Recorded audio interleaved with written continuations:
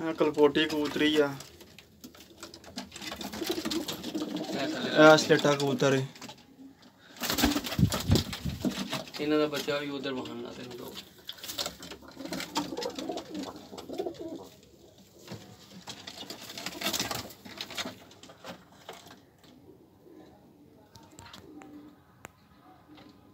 ਇਹ ਤਰ੍ਹਾਂ ਦਾ ਹੀ ਸੀ। ਉਹਨੂੰ ਵੀ ਮੈਂ ਡੱਕ ਲੈਣਾ ਸੀ ਮੈਂ ਕਿਹਾ ਸਾਰੇ ਇੰਜ ਅੱਗੇ ਹੀ ਬਣਾ ਲੈਨੇ ਆ। ਫਿਰ ਮੈਂ ਕਿਹਾ ਚੱਲ ਇਹਨੂੰ ਗਾ ਕੇ ਦਿੰਨੇ ਆ ਇਹ ਮਸਲਾ ਸੋਹਣੇ ਬਣ ਗਿਆ